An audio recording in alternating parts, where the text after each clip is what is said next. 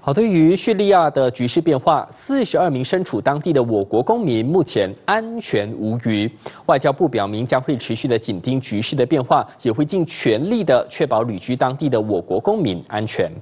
外交部发文告表明，目前正在透过我国驻当地的领事人员和旅居当地的我国公民接洽。根据外交部目前掌握的资料，共有三十七名我国学生，外加五名公民，目前正在叙利亚境内，他们全都安全。